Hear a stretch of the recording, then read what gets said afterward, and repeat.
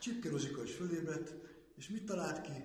Csinálj egy kis csípőemelést. Nagyon egyszerű. Ágy mellett, szék mellett, simán. Fönt van a sarkunk, derékszöget, nagyjából derékszöget zárjuk be a lábunk, kéz esetleg lent van, és megemeljük a fenekünket, és megtartjuk.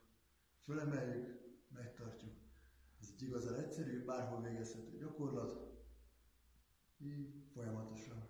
Nagyon jó hát, láb hátsó részére, fenékre, illetve a hátmerevítés izmokat erősíti. Lábfej mindig fölfele, nem lefelé, fölfelé. Jó? Kriszti ezt a gyakorlatot se hanyagold, mert ez nagyon szép cumokat csinál. Fogjon a magyar, én addig alszok.